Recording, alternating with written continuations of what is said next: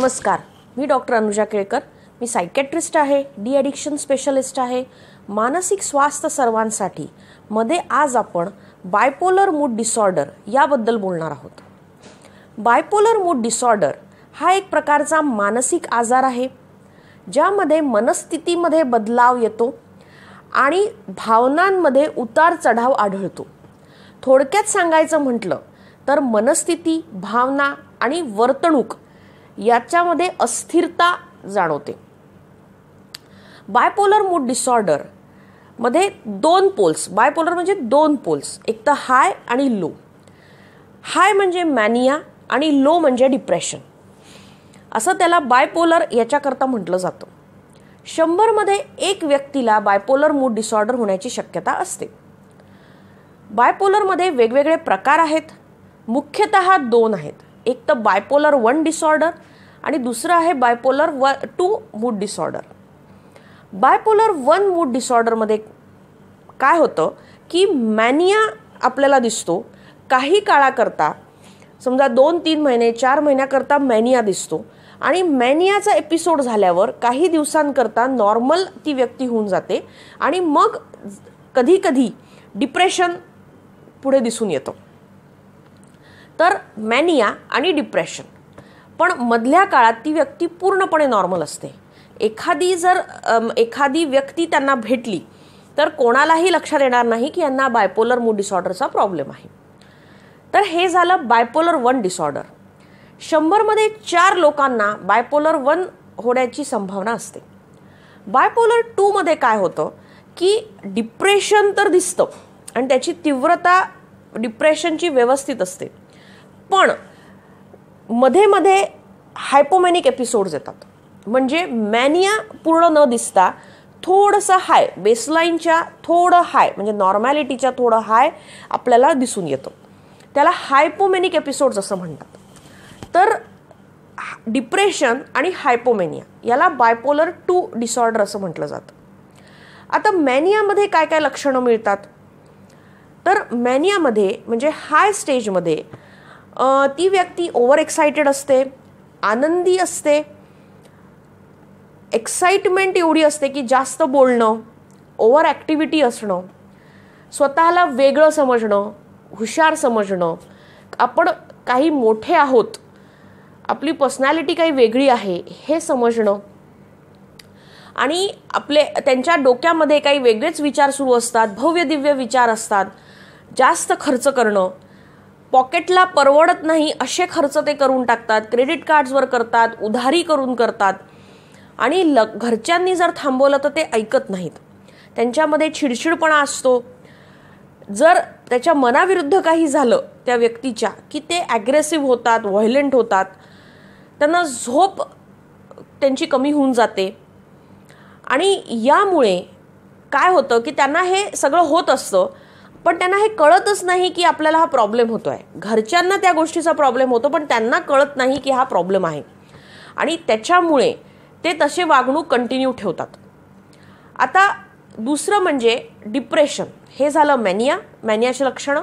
आणि दुसरं म्हणजे डिप्रेशन तर मॅनियाच्या एकदम विरुद्ध डिप्रेशन आहे. डिप्रेशनमध्ये तो पेशंट एकदम लो होऊन जातो सॅड होऊन जातो. कशात त्याला इंटरेस्ट राहत नाही. तो त्याची ॲक्टिव्हिटीमध्ये स्लोनेस येतो तो कमीत कमी लोकांशी बोलतो. निगेटिव्हिटी वाढून जाते झोप येत नाही बेचैनी वाढते.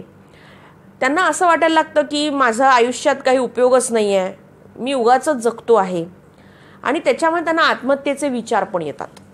तर हे झालं डिप्रेशनची लक्षणं. आता ट्रीटमेंटचं बोलायचं म्हटलं तर मी जसं सांगितलं की बरीच लोक मॅनियामध्ये गेल्यावर नॉर्मल असतात किंवा डिप्रेशनमध्ये गेल्यावर नॉर्मल असतात. आणि जरी ट्रीटमेंट केली नाही तरी काही लोक तसेच नॉर्मलला येऊन जातात काही काळानंतर. त्याच्यामुळे घरच्यांच्या हे लक्षातच येत नाही की हा काही मानसिक आजार आहे. बऱ्याच लोकांना असं वाटतं की काहीतरी भूत भूतबाधा झाली आहे कोणतरी जादूटोणा केला आहे म्हणून ती व्यक्ती अशी वागते आणि ते भगत बाबा वगैरे त्यांचं सुरू ठेवतात. जर त्यांचा व्हायलन्स वाढला किंवा त्यांचे सुसायडल थॉट्स वाढले किंवा तर ते सायकॅट्रिस्टकडे येतात. बरेचदा असं होतं की सायकॅट्रिस्टकडे ते आले तर ते मॅनिया किंवा डिप्रेशनमध्ये असतात तर त्यांना हॉस्पिटल ॲडमिशनचीच गरज भासते. मॅनियामध्ये असताना ती व्यक्ती आउट ऑफ कंट्रोल असते. ती घरच्यांचं ऐकत नाही ती गोळ्या घ्यायला तयार नसतात ट्रीटमेंट घ्यायला तयार नसतात व्हायलंट असतात ॲग्रेसिव्ह इरिटेबल असतात. त्याच्यामुळे त्यांना ॲडमिट करूनच ट्रीटमेंट करणं गरजेचं असतं. आणि डिप्रेशनमध्ये काय असतं की डिप्रेशनमध्ये त्यांना जो जी फिलिंग असते हेल्पलेसनेसची की मी मला कोणी मदत करू शकत नाही मी कोणाच्या उपयोगी पडू शकत नाही माझा उपयोग नाही आहे आणि त्याच्यामध्ये सुसाईडल थॉट्स त्यांना असतात आणि त्यामध्ये ते आत्महत्येचे विचार असल्यामुळे ते आत्महत्येचा प्रयत्न पण करतात. म्हणून त्यांना त्याच्यामुळे हॉस्पिटल ॲडमिशनची गरज पडते. आता यामध्ये दुसरं फार्मॅकोथेरपी म्हणजे मेडिसिन्स जर आपण बोललोत तर वेगवेगळ्या प्रकारचे मेडिसिन्स असतात.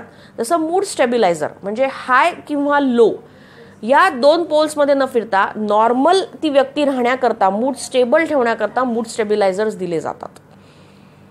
तर एक आहे मूड स्टेबिलायझर दुसरं म्हणजे अँटीसायकॉटिक्स दिले जातात. त्यांचं इरिटेशन असतं व्हायलन्स असतो त्यांचे विचार एबनॉर्मल असतात. त्याच्याकरता त्यांना अँटीसायकॉटिक्स दिले जातात. किंवा अँटी डिप्रेसन्स डिप्रेशन करता त्यांना अँटी डिप्रेसन्स दिले जातात. त्यांना झोप येत नाही. त्यांना बेचैनी खूप असते. म्हणून त्यांना बेन्झोडायझेपिन्स दिले जातात. आणि याचबरोबर काही म्हणजे ट्रीटमेंटचा एक भाग म्हणजे इलेक्ट्रोकन्व्हल्सिव्ह थेरपी म्हणजे ई सी टी पण काही लोकांना देण्याची गरज भासते. तो एक प्रकारचा ट्रीटमेंट ऑप्शन आहे बायपोलर मूड डिसऑर्डर करता.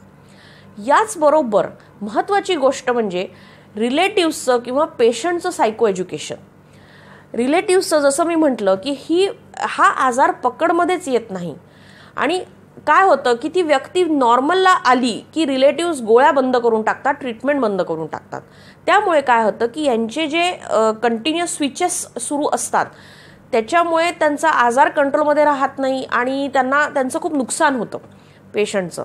त्याच्यामुळे रिलेटिव्सला हे सांगणं गरजेचं आहे हे समजवणं गरजेचं आहे की ट्रीटमेंट बंद न करता ती कंटिन्यू ठेवणं गरजेचं आहे. त्यांना मेंटेनन्स ट्रीटमेंटवर ठेवणं गरजेचं आहे जेणेकरून जे स्विचेस होत आहेत ते कमी होतील किंवा होणार नाहीत. तर हे रिलेटिव्हला सांगण्याची गरज आहे पेशंटला पण तेच सांगायची गरज आहे की तुम्ही मेंटेनन्स ट्रीटमेंट कंटिन्यू करा सायकॅट्रिस्टला प्रॉपर फॉलोअप द्या जेणेकरून हा प्रॉब्लेम ची तीव्रता कमी राहील किंवा राहणारच नाही. तर हे झालं बायपोलर मूड डिसऑर्डरबद्दलची माहिती. मानसिक स्वास्थ्य सर्वांसाठी यामध्ये माझं ॲज अ सायकॅट्रिस्ट हा उद्देश आहे की जास्तीत जास्त लोकांपर्यंत मानसिक आजारांबद्दलची बरोबर माहिती पोचावी. आणि जास्तीत जास्त लोकांच्या मनामध्ये ज्या गैरसमजुती आहेत मानसिक आजारपर्यंत आजाराबद्दलच्या त्या दूर व्हाव्या. तुम्हाला याबद्दल अधिक माहिती हवी असल्यास तुम्ही आमच्या हॉस्पिटलच्या कॉन्टॅक्ट नंबरवर कॉन्टॅक्ट करू शकता. आमचा हॉस्पिटलचा नंबर आहे nine five zero three three zero nine six one nine. नमस्कार.